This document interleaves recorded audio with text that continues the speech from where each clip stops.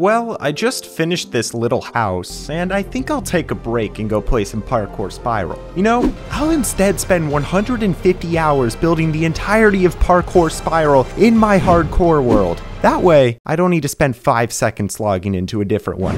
What did you just say? no, Totem, I'm not crazy. All right, for real though, I've wanted to build this in my world for like a year now, and I am so stoked to finally do it. So thank you, Hielke, for designing the map. This is gonna take a lot of planning to make. We have all of these steps, which begin with the placement of where it's gonna go. The issue, however, is that this map is about 300 blocks tall from top to bottom. If I were to just place it right on the ground, the top would be cut cut off because it would reach world height. So that means I need to create a 2.2 million block hole beneath it. These concrete blocks are going to be the outline of the hole we're going to dig.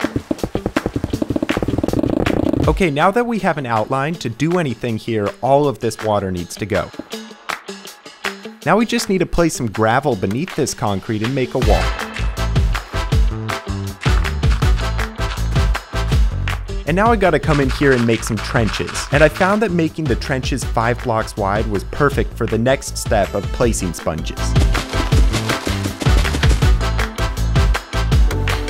And then every time I would run out of sponges, I would quickly dry them in the nether. I have cleared the water. Anyways, now this entire mountain needs to be cleared because the TNT machines we're going to be using in a moment have to have flat land to work. Let's go get some beacons to get the haste effect. Beacons, perfect. Now I'm at my raid farm to craft some emerald blocks. Someone on stream told me to try using a mod called Item Scroller. It's crafting the blocks so fast. Uh, yeah, that's definitely enough blocks for all the beacons. Okay, want to see a cool trick? Watch this. Beacons, beacons beacons, beacons. Whoa, how did that beacon magically appear there? First, I think we should start with the dirt. Actually, I have a better idea. I'm gonna need some TNT. Okay, now I need a bow to shoot the TNT. And, bruh, how did I manage to grab literally the one mending bow instead of any of these infinity bows? Now the boom booms. And that's all the dirt. Now I'm gonna mine the stone.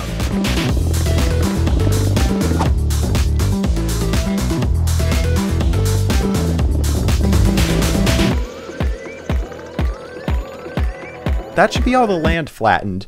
And now it's time to remove the main portion. All 2.2 million blocks. Obviously, the best way to remove this is to use TNT. However, when the TNT explodes, it leaves the walls looking pretty ugly. So to fix that, we're gonna use a special trick that involves water. But to fully explain it, I need to travel to the right spot.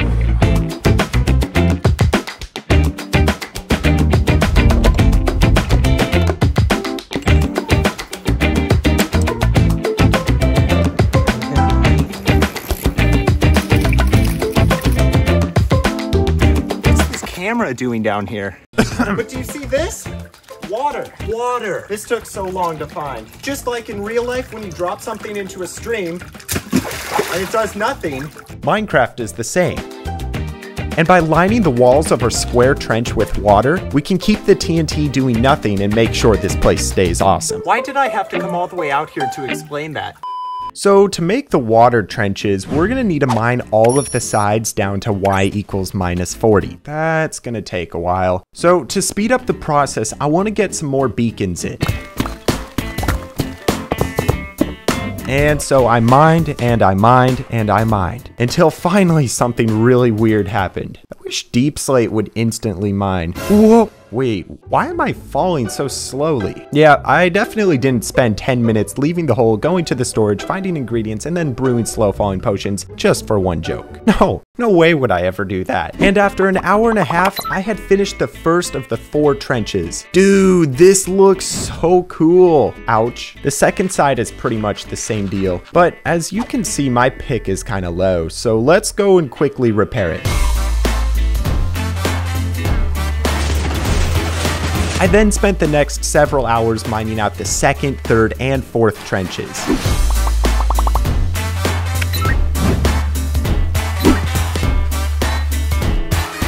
And there we go. That's the first step of this project done. And while working, I ended up collecting quite a bit of deep slate and diamonds, both of which are going to be needed later in this project. I guess now the next step to make these walls completely flat is to flood water down the trenches. Probably something like this.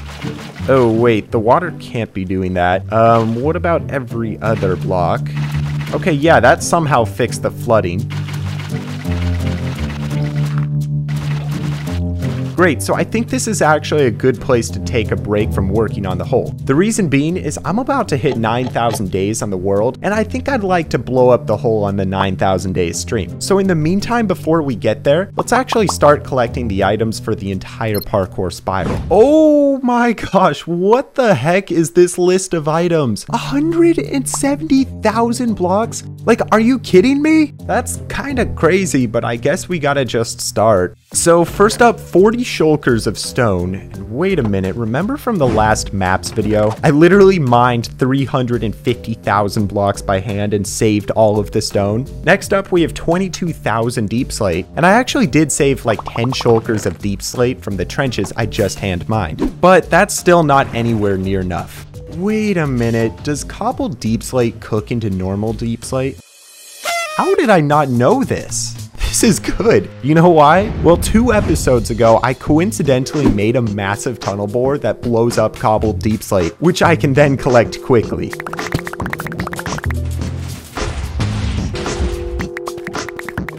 Oh baby, we got our diamonds too. Someone recently beat the overall most diamonds ever collected in hardcore, and I think it might be kinda cool to get that record back someday. Ouch, ouch, ouch. There we go. That should be all of the deep slate we need. Now we can take this deep slate to the super smelter.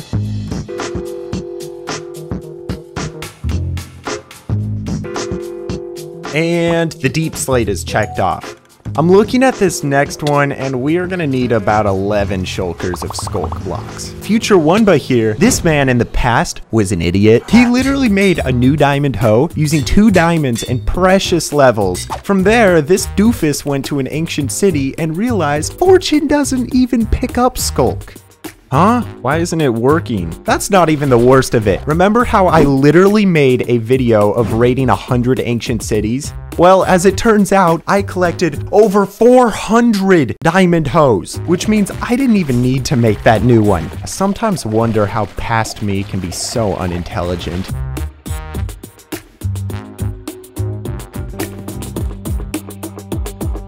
The next item on the list is pretty easy. Yep, it's some sand. Then some ice. Now about four shulkers of jungle leaves.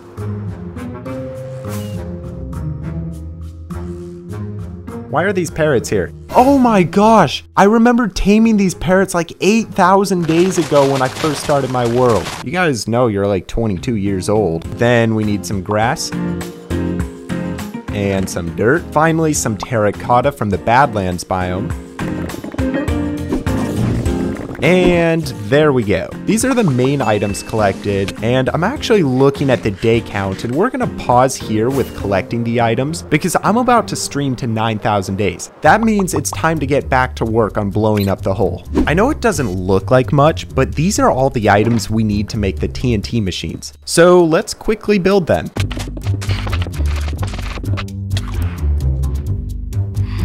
Um, and then by breaking this block, the machine should start.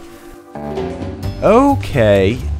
Yeah. And with my type of luck, I think it's best if I just watch these machines work from far away. How about we build two more of these machines to help speed up the process? there we are. Hold up. This is not good. This TNT is not going to work if any of these liquids are here. So Okay, the problem has worsened. That's a lot of lava. Someone did suggest that I could use scaffolding to fill in the lava, but honestly, I think gravel will be overall quicker because I already have a lot.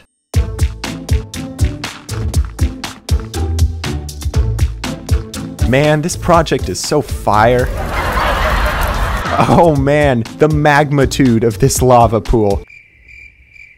I'm sorry, it's been a long day. As I cleared the lava, I found some diamonds, fell in a few times, and ate like 5,000 pork chops. Anyways, while I was working, someone on stream suggested a method of removing lava that seemed too good to be true. Okay, so for this trick, we need to go to the iron farm. And then with all of this iron, I would like to make a bucket load of, um, buckets. Now by using these buckets, what the heck? Why have I never used this method before? With my new method of removing lava in place, I spent the next couple of hours bombing the entire perimeter out.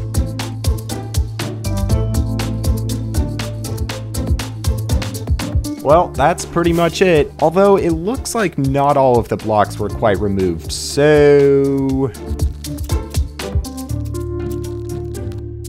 Perfect. That is one side done. Second side cleared. Third, and this fourth side, I'm to manually use TNT to explode. Pew. This place looks pretty cool, even though that's only halfway. We now need to set up TNT bombing machines once more, but just lower down to finish clearing the hole.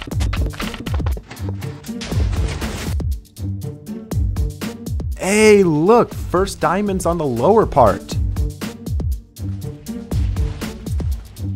So as the hours flew by, the machines cleared more and more land, until finally, the entire area was down to y equals minus 40. So yeah, I technically don't need to clear any of this stuff away because it is beneath where we actually need to clear, but I kind of feel like it would look a lot cooler if I did. So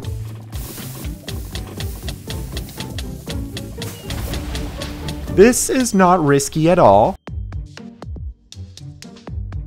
I just need to clear the blocks around the edge and then I am done. Wait, actually, I would kind of like to put a floor in here. Let me quickly do that. 13,000 blocks later, the floor is in. Holy, the hole is wholly complete. That was cringe. And just like that, I had finished the phase of building Parkour Spiral. What I didn't know was that the next phase was going to be much, much worse. Because now I needed to collect over 500 different types of items, which totaled to over 170,000 blocks. Well, we already collected a few items earlier, so instead of doing the large amount of items, why don't I start on the smallest amount and work my way up. Don't think I've actually ever made a dark oak fence before. Same with beds. If you didn't know, I refuse to sleep in my world, so crafting these feels kinda weird. Next up, we have tall grass and large ferns. Ah, I hate to use these because they're so dang hard to find. You can only ever get them in village chests, and even that isn't guaranteed. It looks like we now need some dead brain coral fans, which means I need to take a trip to the reef.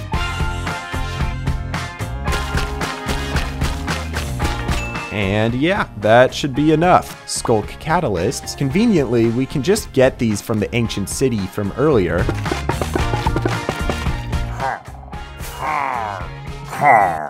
Yes, annoying totem. That's cause to get views on YouTube, you have to fight wardens. Oh, there it is. All right, you aren't so scary, are you? Nice. Well, I'm gonna keep collecting the items on the list.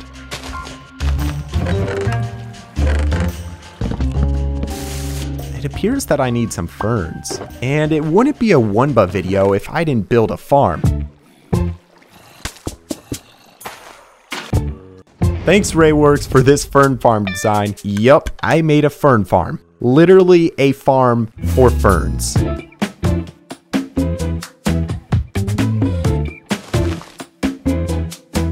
I cannot express how many items I had to collect. Even along the way, I found some super strange things. What the heck? First of all, these two monuments are within range of each other to make a double guardian farm. But secondly, why are they in the land like this? Now I need some sponges and wet sponges. That's super weird. Now some lily pads three stacks of diamond blocks. Wait, that's 27 stacks of diamonds. Are you kidding me? What about the diamonds we collected from earlier? Is that gonna be enough? I guess the only way to find out is to mine them.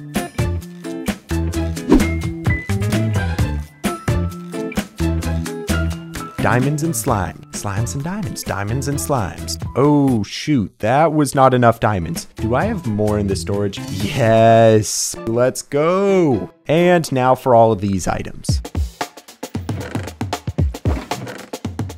Some snow is next. I do have a farm for this. What if I convert the snow layers into blocks by placing them? Oh my gosh, why is that so satisfying?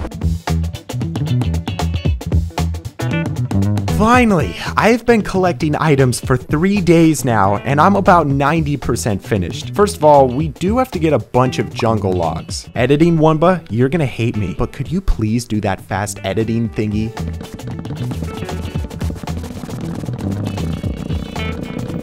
Now I need a bunch of grass. And then about 40 shulkers of lava.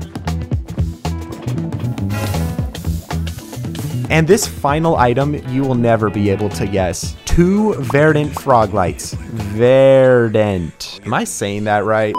So to get these frog lights, we're gonna need to build a farm. I decided to stream this process because I have literally never done anything with frogs on 1.19, and I heavily relied on chat to help me. Okay, we have all the items for the farm. To actually build it, we need to find a basalt deltas biome on the nether ceiling. Oh, this place isn't gonna work because there are other blocks near, so let's go find a different one. Yeah, this basalt delta should work. Now to build the farm. And I think we just need three iron golems. Nope, he got out. Once more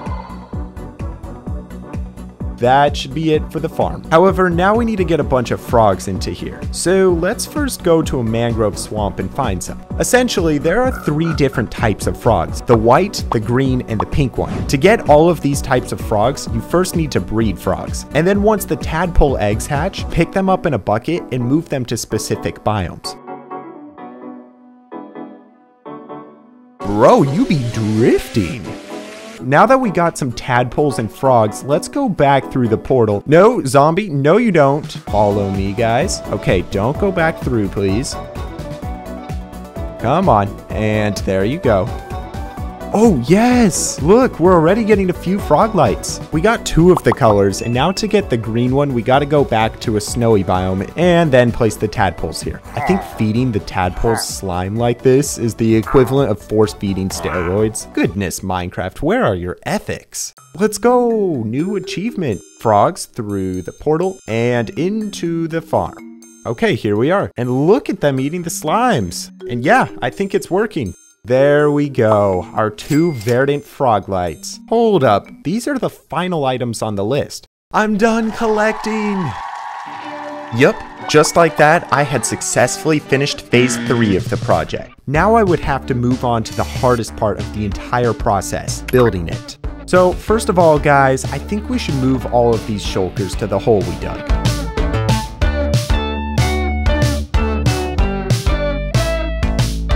Hopefully while we're building, having these sorted will make the process a little easier. I suppose it's time, ladies and gentlemen, boys and girls, men and women, grandpas and grandmas, great-grandpas and so let's begin with the first couple of blocks. Looks like we have some fire that goes on the soul sand.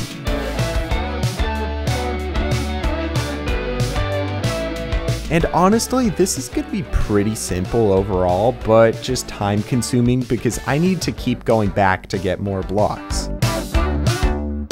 Haha, time for the two Verdant frog lights. I spent like two hours getting those, but honestly, so worth it.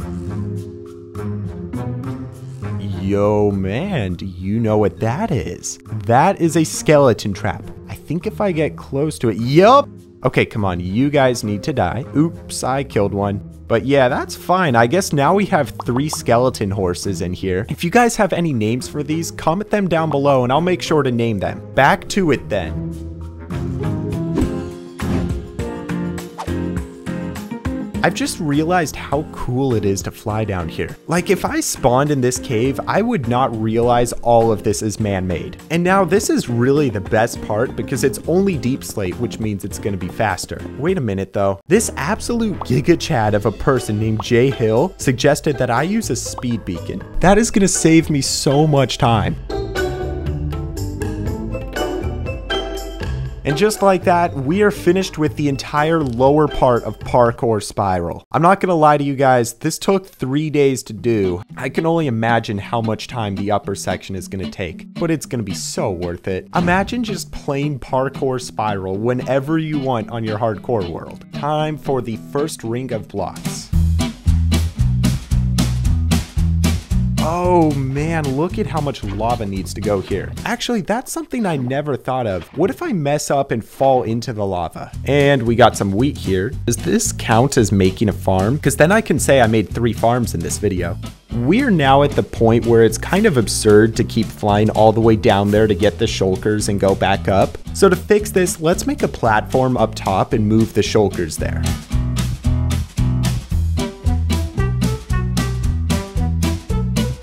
Holy freak, why are there so many phantoms? Yeah, this was pretty much my life for the next 50 hours. Placing blocks, getting more blocks, and killing phantoms.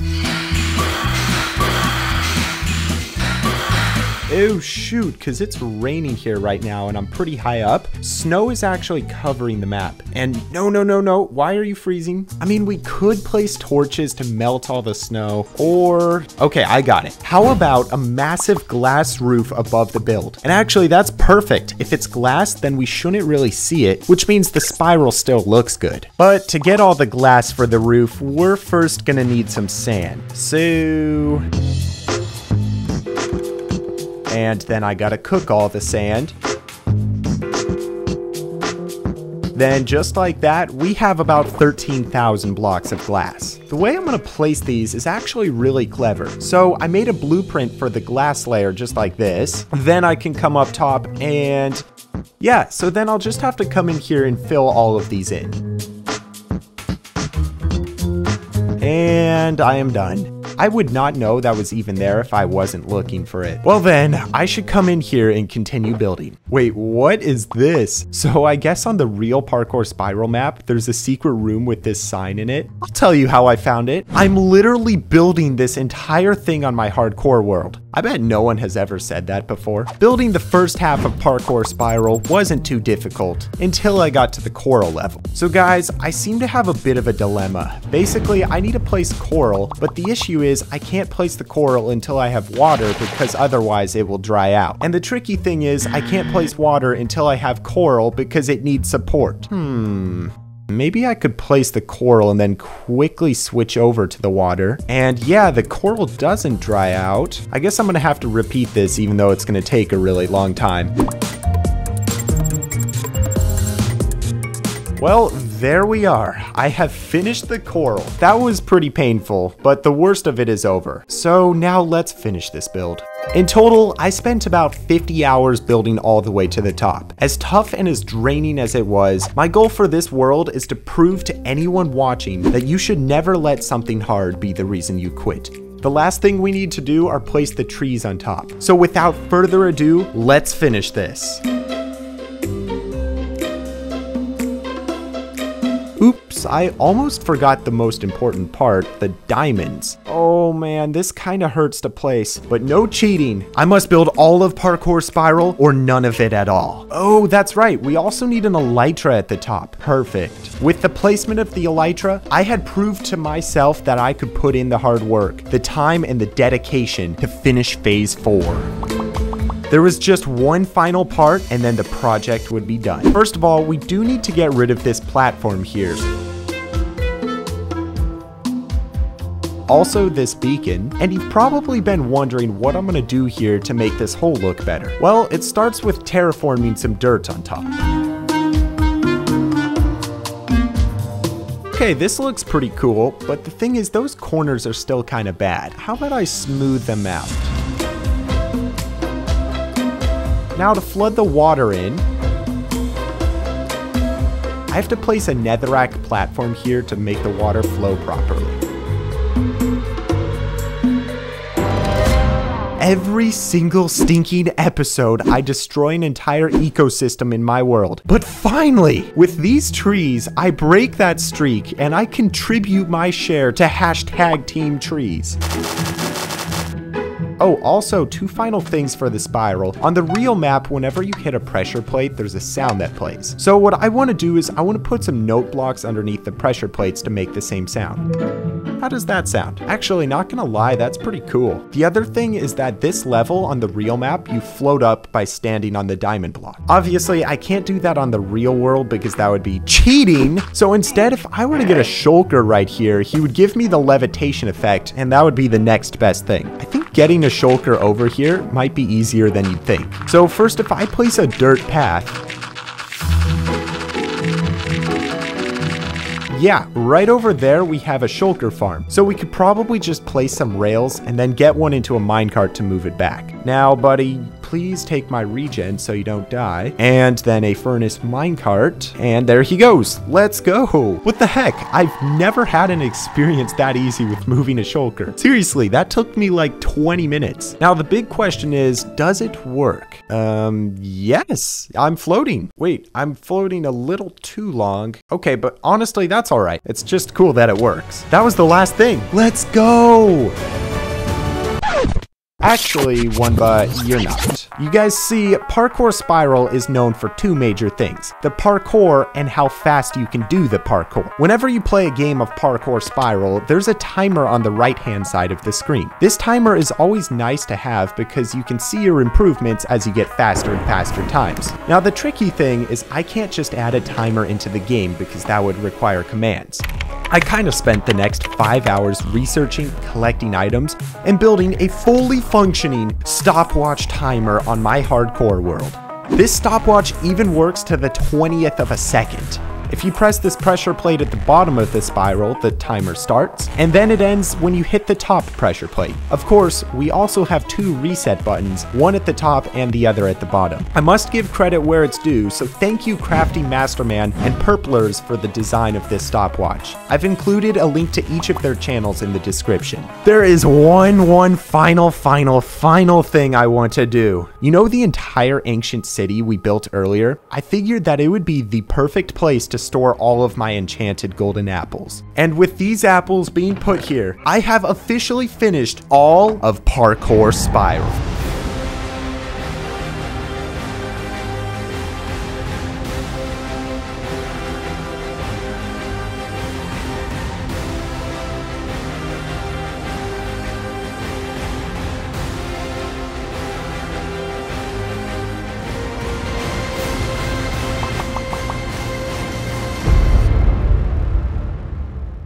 Hey guys, if you enjoyed the video, please consider subscribing so when I make any new content, you don't miss out.